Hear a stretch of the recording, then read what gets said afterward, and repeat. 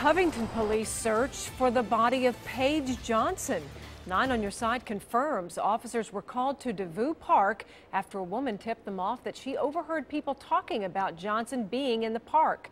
The Covington police chief tells us the search turned up nothing, but they will be following up on the tip. We expect to learn more information tomorrow. Policing